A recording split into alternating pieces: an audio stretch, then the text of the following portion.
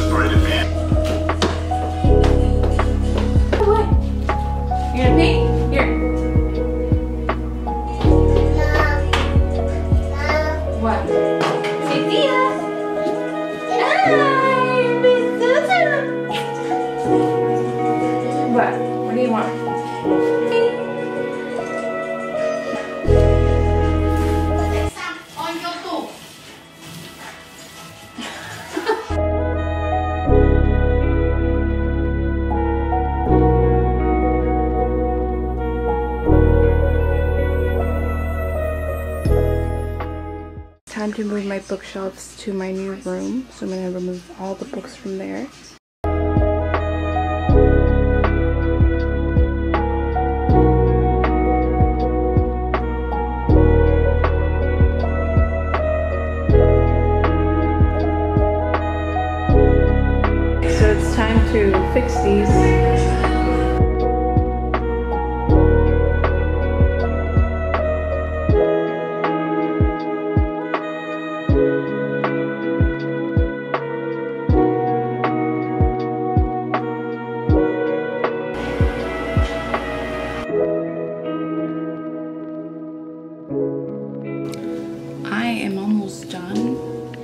Is currently 11 o'clock p.m.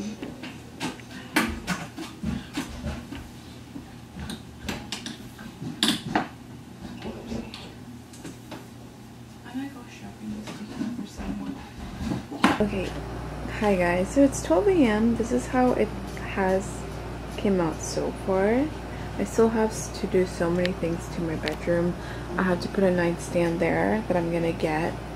Um, I have to take this out right here. I don't want that. And then I have to fix my um, workstation. This is gonna be my workstation. Okay, hello friends. I just got my nightstand. I'm so excited. I am going to purchase my vanity and I still need to organize all of my skincare.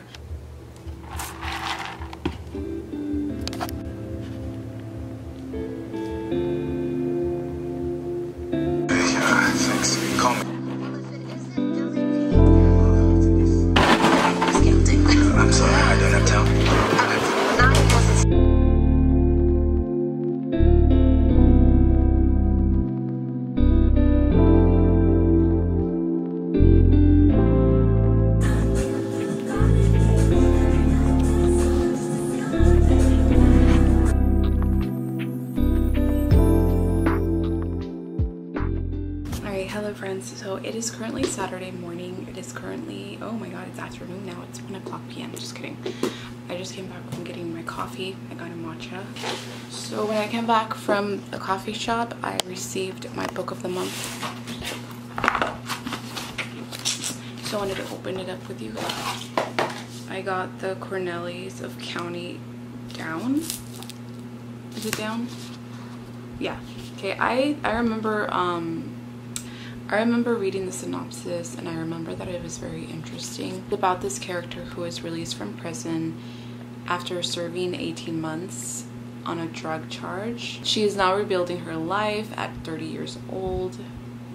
With no money and no prospects she returns home to live with her siblings. So i picked this book because it's gonna be about siblings and like having a relationship with your siblings and it just reminds me of my own siblings because I have such a good relationship with my siblings. I keep repeating siblings.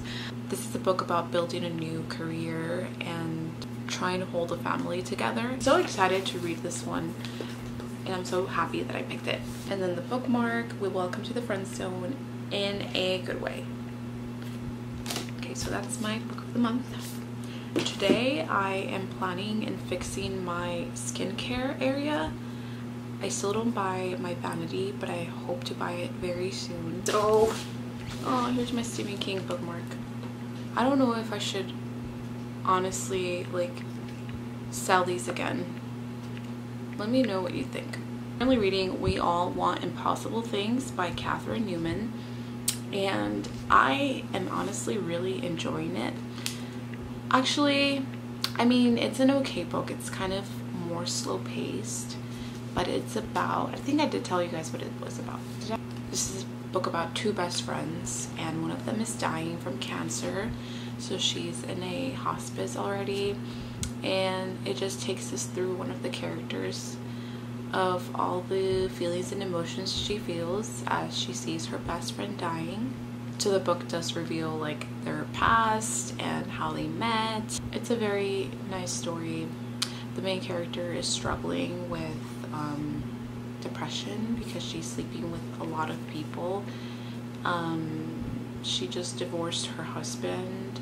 She has two older daughters they reminisce on the past and everything that they have gone through in life and I'm pretty sure that this book is going to make me cry because any like book that where a character is dying from cancer is very heartbreaking. Fuck cancer. I feel all the emotions that the characters feel but I feel like it's more in the slow pace because I feel like it's very repetitive. It just sticks to one event and not a lot of things are happening right now. Um, I'm on page 91 and I have put this book down more than five times so that's pretty much what I'm reading right now. I did start listening to or reading listening to an audiobook. I forgot what it's called.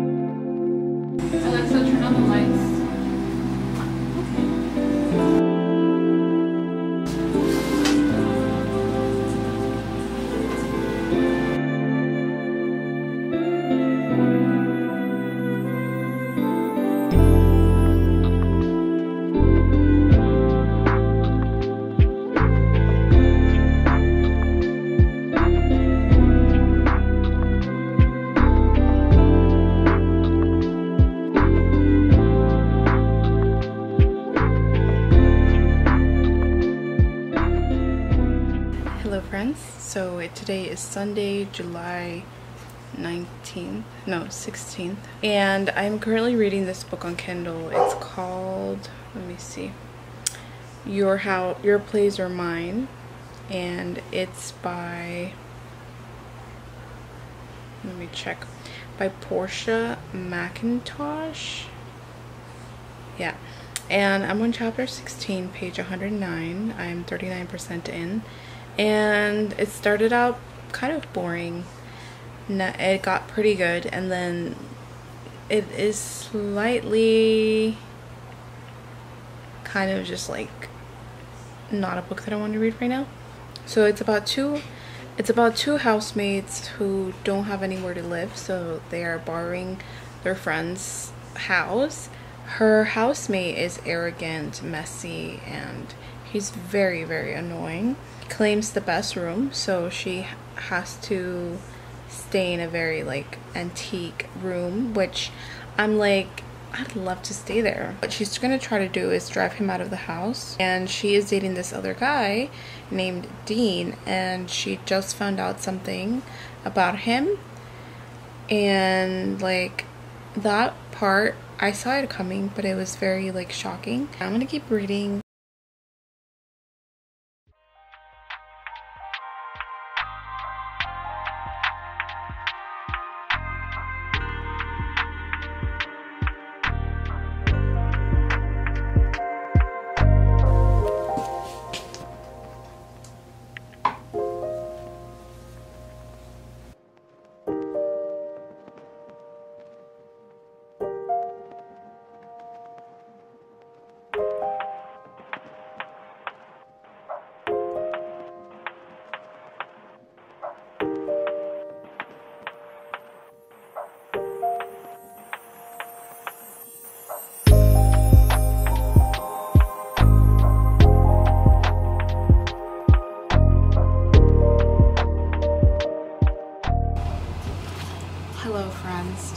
Today is Friday, July 21st, and I am going to, well, I'm currently reading Every Summer After. I got new pajamas, they're so cute. But, anyways, I've heard so many good things about this book. I'm sure I'm going to love it.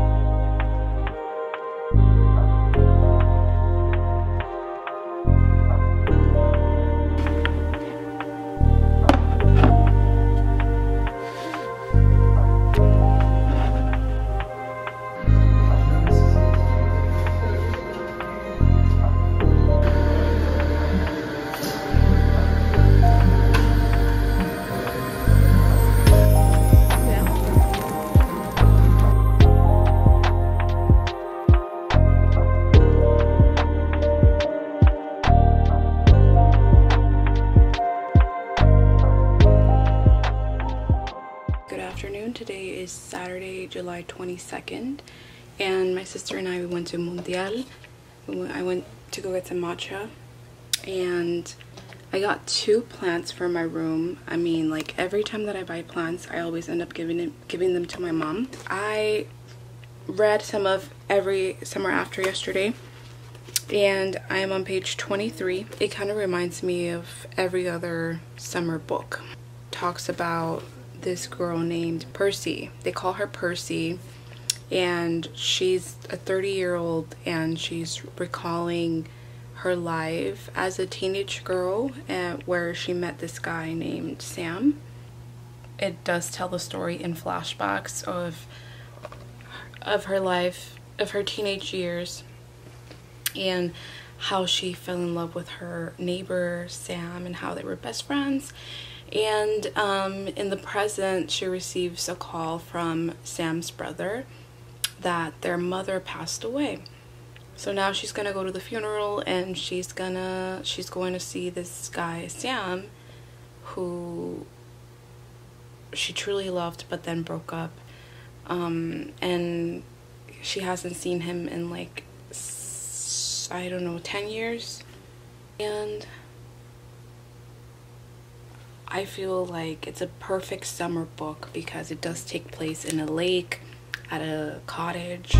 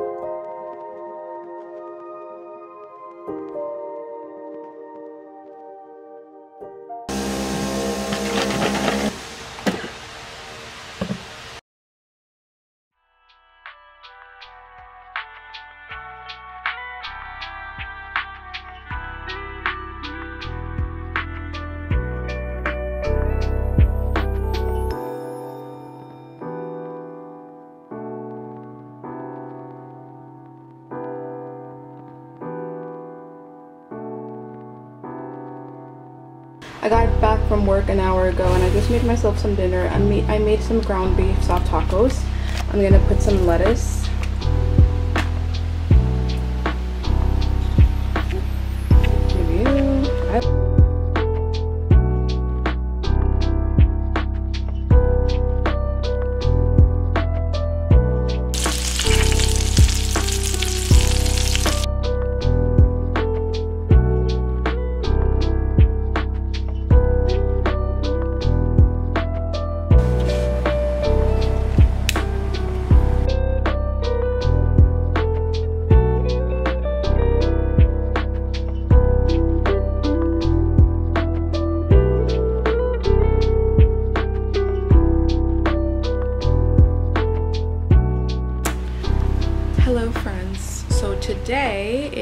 July 29th.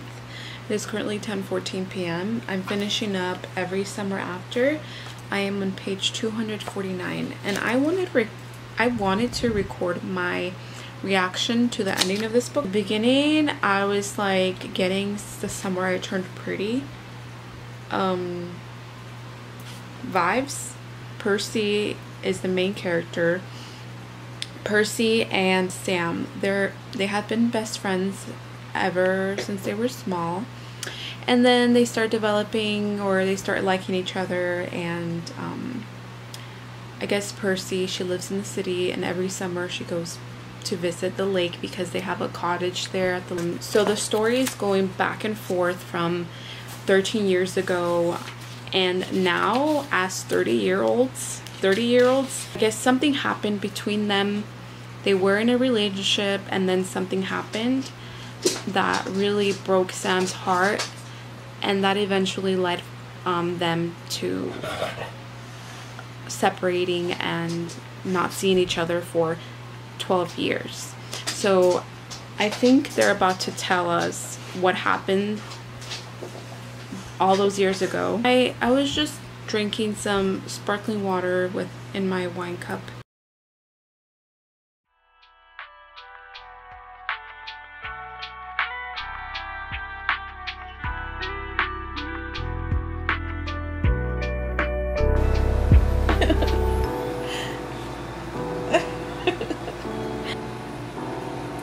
Before she died, she said he'd meet you after.